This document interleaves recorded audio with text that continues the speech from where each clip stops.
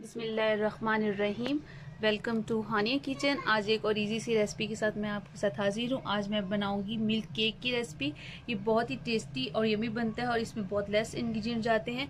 और ये इंडिया की मशहूर मिठाई है। आप हलवाई से जाकर जो खाते हैं, घर पे भी हम इजीली और लेस चीज़ों से बना सकते हैं। अब जो इसमें चीज़ें जाएँगी, वो मैं आपको डिटेल से बताऊँगी। इसमें मैंने दो किलो जो दूध लिया ये मैंने गाय का दूध लिया फुल फैट मिल्क लिया है मैंने। आपको दूसरा भी यूज़ कर सकते हैं, लेकिन गाय का करेंगे तो ये ज़्यादा अच्छी बनेगी। वन टेबल स्पून मैंने इसमें लेमन जूस लिया है। तीन टेबल स्पून मैंने इसमें मक्खन लिया है। आप मक्खन की जगह घी भी यूज़ कर सकते हैं। और बादाम और कुछ पिस्ता मैंने लिए गार्निश करने के लिए। और डेढ़ कप मैंने इसमें चीनी ली है। और इसके बाद अब मैं आपको नेक्स्ट स्टेप बताऊँगी।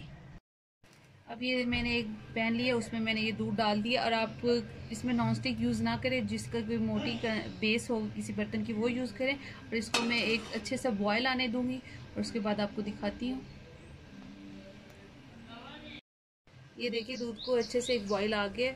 और अब इसकी मैं जो है, आँच बिल्कुल लो कर दूँगी। आपने लो करते इसको बिल्कुल हल हिलाते हुए हल्के हाथों से आपने बिल्कुल लो करके इसको पकाना है। इस मिल्क केक के सबसे यही अच्छी क्वालिटी है कि इसको आपको ध्यान रखते हुए, अच्छे से हिलाते हुए और बिल्कुल लो फ्लेम पे 30 से 35 मिनट के लिए पकाना है। जब ये दूध, अब ये देखिए बर्तन का फुल है, इसका हाफ़ तक ना रह जाए। अब मैं इसको बिल्कुल हिलाते हुए 30 से 35 मिनट तक पकाऊँगी। जब दूध आधा रह जाएगा और लो फ्लेम पर, उसके बाद मैं आपको दिखाऊँगी। ये देखिए दूध देखें एक बड़ी बर्तन फुल था, इसका हाफ़ हो गया। और बिल्कुल आपने इसको हिलाते हुए पकाना है। देखिए नीचे से और साइडों से आपने इसको इस तरह से करते हुए अच्छे से हिलाते हुए पकाना है। अब इसमें मैं जो लेमन डालूँगी, ताकि इसमें जो वो दानेदार सा बन जाए, इसमें मैं पहले हाफ़ टी स्पून डालूँगी। और अगर ये और फ़ौरन आपने इसको हिलाते रहना, अगर इससे फट गया तो ठीक है, नहीं तो इसमें मैं फिर और लेमन डालूँगी। आप इसकी जगह फटकरी भी यूज़ कर सकते हैं, जैसे कि हलवाई, और आपने फटकी एक मटर के दाने जितनी यूज़ करनी है। ये देखिए, मैंने एक टेबल स्पून इसमें दूध डाला था, इस तरह से ये फट गया, इसमें इस तरह से दानेदार सा आ जाएगा। और इसको अब मैं फिर हिलाते हुए बिल्कुल लो फ्लेम पर जो है तीस मिनट तक पकाऊँगी। आपने बिल्कुल लो फ्लेम रखनी है और इसको हिलाते हुए पकाना है ताकि ये साइडों से भी नहीं चिपके और नीचे भी नहीं लगे। मिल्क केक की यही खासियत है कि ये हलवाई जो है, जब बनाते हैं तो इसको बहुत ही एहतियात से बनाते हैं हिलाते हुए ताकि इसकी जो है बिल्कुल एक अच्छी सी लुक आए और इस, जब ये थर्टी मिनट तक हो जाएगा, उसके बाद मैं फिर आपको दिखाऊँगी। थर्टी मिनट में इसको और पकाऊँगी, बिल्कुल लो फ्लेम पर रख कर ये देखिए, दूध बिल्कुल इस, देखिए, ये देखिए फुल था, उसके फोर्थ हिस्सा रह गया। अब इसमें मैं हाफ़ कप चीनी डालूँगी और इसको फिर पकाऊँगी। ये देखिए, अब इसमें हाफ़ कप चीनी डाल दी है और इसको मैं अच्छे से हिलाते हुए पकाऊँगी। आपने इसको 10 मिनट और पकाना है अच्छे से, फिर जो चीनी है, हाफ़ रह जाएगी, वो इसमें डालूँगी। क्योंकि चीनी का जो पानी है, वो भी निकलता है, उसको भी अच्छे से हमें सुखाना है। बिल्कुल खुश कर देना है। अब मैं इसको लो फ्लेम पर दस मिनट तक और पकाऊँगी, फिर हाफ़ कप जो चीनी है, मैं वो और डालूँगी। इस तरह से हिलाते हुए आपने पकाना है। देखिए, अब 10 मिनट हो चुके हैं इसको लो फ्लेम पर पकाते हुए। अब इसमें मैं हाफ़ कप जो है, एक कप फुल और मैं डालूँगी। इसमें जो बाकी चीनी, बाकी सारी रह गई थी, वो मैंने डाल दी है।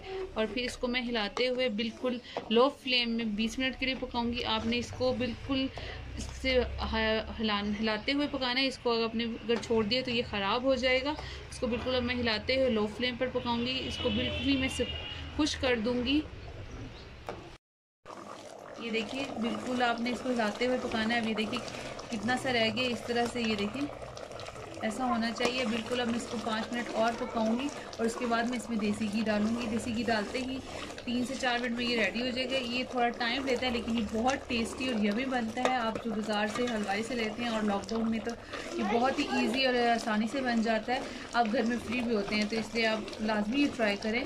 अब पाँच मिनट के बाद मैं इसमें देसी घी डालूँगी और उसके बाद मैं आपको दिखाती हूँ। ये देखिए, इस तरह से जब ये रेडी हो जाएगा, इस तरह से होना चाहिए। अब इसमें मैं जो है देसी घी डालूँगी। आप इसकी जगह दूसरा घी भी यूज़ कर सकते हैं। मैं इसमें मक्खन यूज़ कर रही हूँ। इससे इसका टेस्ट बहुत ही जमी आएगा और ये बहुत ही लजीज बनेगा। जिस तरह से हलवाई के पास हम खाते हैं। और इसको अब मैं जब इसको पाँच मिनट और लो फ्लेम पे पकाऊँगी। जब इससे घी हल्का सा, इसमें घी अच्छे से मिक्स हो जाएगा और साइडों से घी निकलना शुरू हो जाएगा। इसको पाँच मिनट अच्छे से मैं फुल फ्लेम पे रख के पकाऊँगी। उसके बाद ये देखिए, अब इसकी साइडों से जो घी सेपरेट होता जा रहा है और ये अब रेडी हो चुका है। अब मैं चूल्हा बंद कर दूँगी और इसको मैं एक सेपरेट बटन में निकाल के आपको दिखाऊँगी। अब ये जो मैंने एक ट्रे ली है, इसको सर्व करने के लिए, अब इसमें मैंने अच्छे से इसको ग्रीस कर लिया। अब मैं जो मटेरियल बनाया था, वो इसमें डालूँगी। ये देखिए, मैंने सर्विंग ट्रे में डाल दिया। अब इसको मैं तीन घंटे के लिए रूम टेम्परेचर पर रख दूँगी और उसके बाद मैं आपको इसको सर्व करके दिखाऊँगी। अब तीन घंटे में इसको रेस्ट करने के लिए रख दूँगी। आप फ्रीज़र में भी रख सकते हैं, लेकिन इसे मैं रूम टेम्परेचर पर तीन घंटे के लिए ऐसे ही किसी जगह पर छोड़ दूँगी कवर करके और उसके बाद आपको दिखाती हूँ। ये देखिए, अब इसको दो से तीन घंटे हो गए। इसको मैंने रूम टेम्परेचर रखा है और ये देखिए, ये अच्छे से सेट हो चुका है। अब मैं एक नाइफ़ लूँगी और इसको साइडों से हल्का सा कट करूँगी। इस तरह से ताकि ये इसको मैं अच्छे से, आसानी से निकाल सकूँ चारों साइडों से।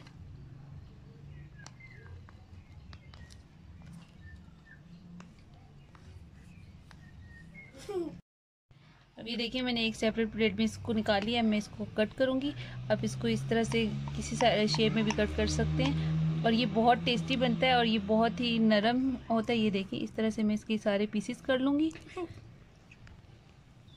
अब इसको मैं आ, किसी भी आप ड्राई फ्रूट से इसको गार्निश कर सकते हैं। मैं इसको एक पिस्ता से इस तरह से हल्का सा प्रेस करके किसी को मैं बादाम से गार्निश करूँगी।